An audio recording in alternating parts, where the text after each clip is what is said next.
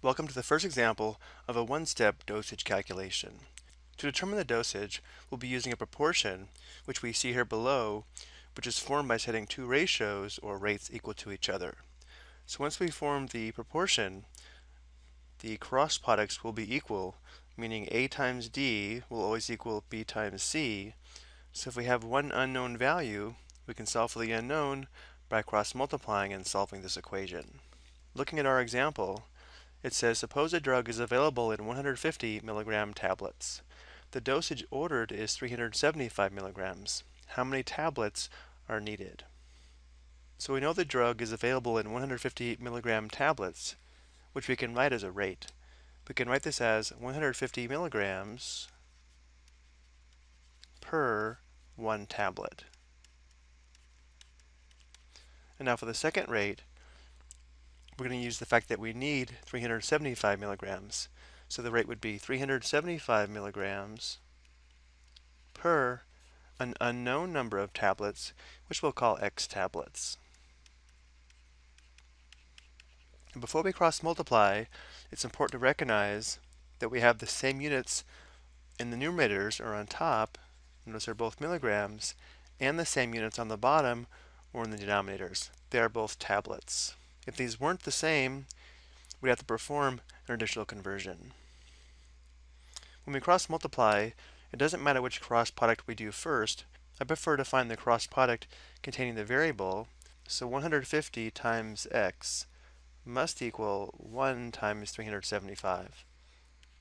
Again, 150 times x is 150x must equal 1 times 375, that's 375, Notice how when cross multiplying, we do leave the units off to simplify our equation. And now to solve for x, we'll divide both sides by 150. So we have x equals 375 divided by 150. We do want to simplify this though. These two do share a common factor of 75.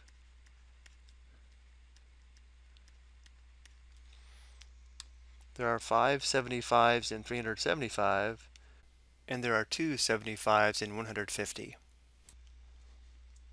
So we have x equals 5 halves, but let's also write this as a mixed number and a decimal.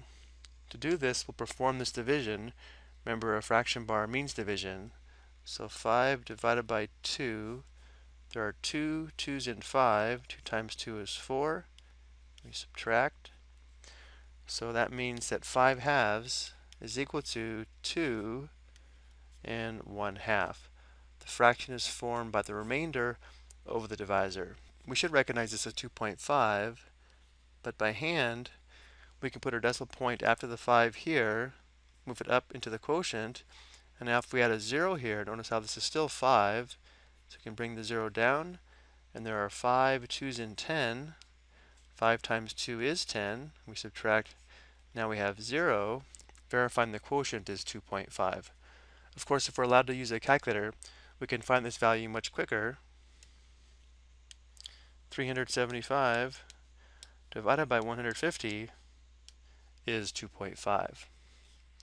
So to answer the question, if the dosage is 375 milligrams, we need 2.5 or 2.5 tablets.